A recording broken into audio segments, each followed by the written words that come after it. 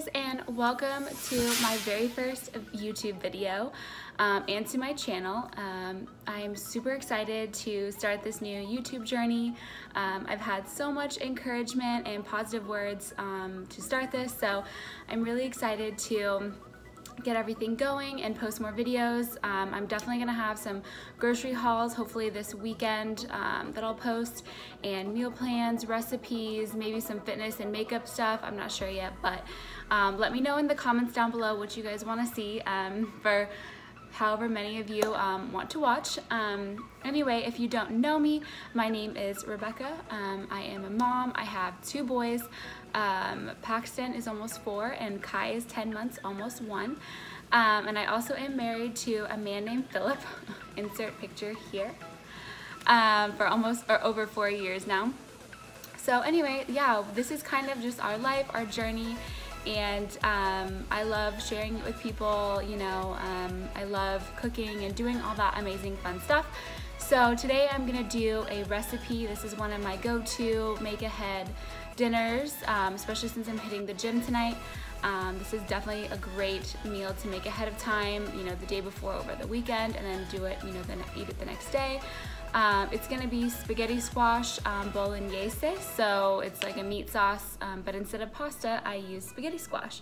So since I am very low carb um, and I'm dieting or you know, whatever you want to call it, macro counting. Um, I do that. A lot of times I do make carb filled meals for, you know, the boys because they're not on any type of, you know, diet, um, but I am.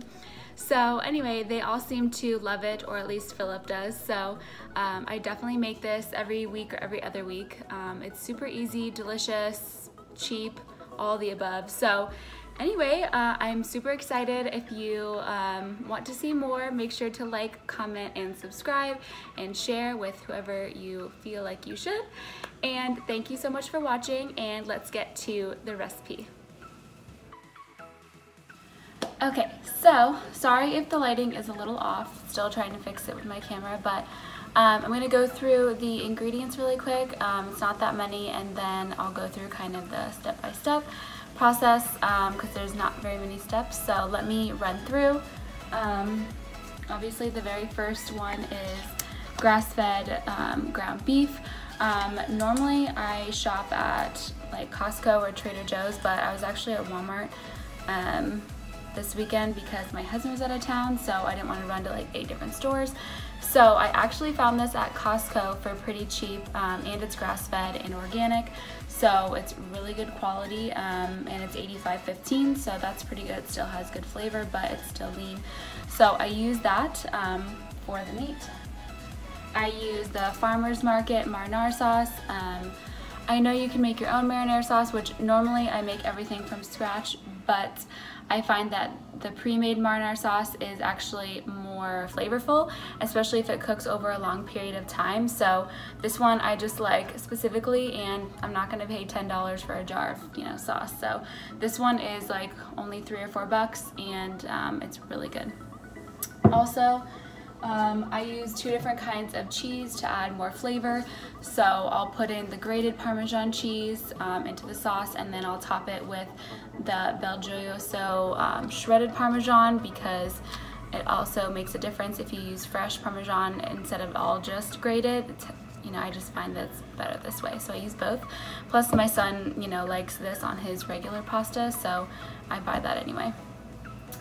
Um, I use one and a half onions because my husband's obsessed with onions, so one apparently isn't enough, but I'm sure one is sufficient if you're making it. Um, uh, I just use one and a half, so, and then just cut it up super small.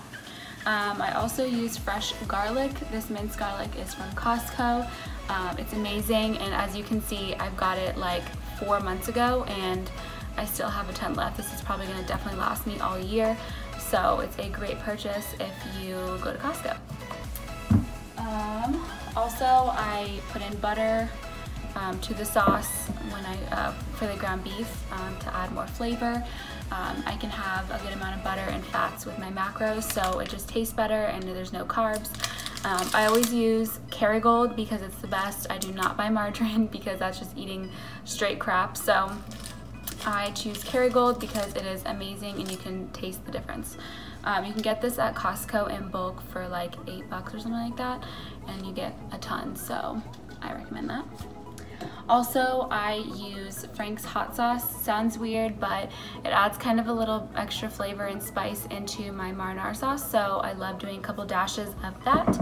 Um, and then obviously the spaghetti squash is the main one. Um, it's actually not even that much. I think it's like a dollar a pound or something like that, and it's only like two or three pounds maybe, I'm not sure, but it's not expensive. And I will show you how to cook this, super easy. Um, so I obviously have this. You can use regular pasta if you want, um, off the, the linguine or spaghetti pasta or anything like that, um, or many different types of pasta you could use, but I just use this because it's healthier, so. And then let's just do go over some of the spices that I use. So I do a little bit of the Cajun seasoning because I put this in everything. Honestly, it's amazing. Bought that at Fry's. Um, a hint of salt, even though my husband hates salt, don't tell him, I put a little salt in there, just a little. And then I do some organic chicken seasoning. Um, I know it's beef, but I love the flavors that are in this. Um, of course, pepper, got it from Costco, amazing deal, and I go through pepper like water. Um, also, I use some Moroccan thyme or regular thyme, whatever. Um, but it's just really good and super fresh, but it's dried. Um, I also use some avocado oil. I honestly just think this is so much healthier and better for you than olive oil and I hate the smell of olive oil so um, I love this stuff also from Costco for like eight bucks, super cheap and really good for you.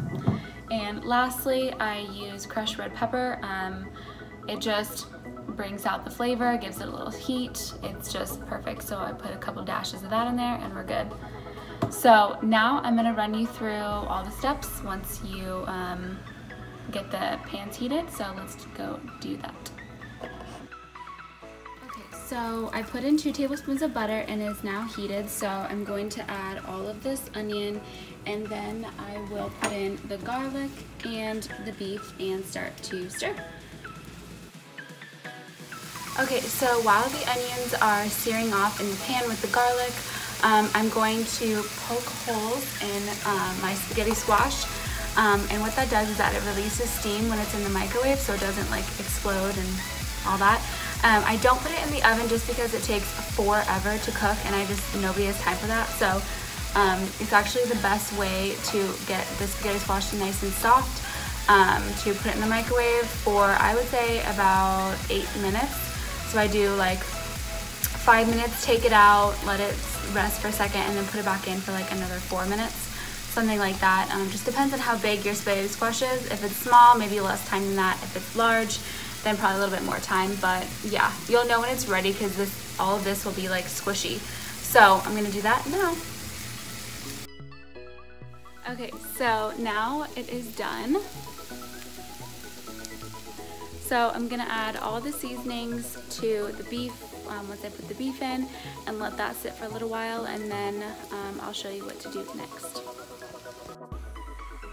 Okay, so my spaghetti squash is in the microwave and I will show you kind of what my beef looks like now. Um, I've been stirring it and kind of mashing it up a little bit so it's in little tiny pieces. Um, so it should look something like this.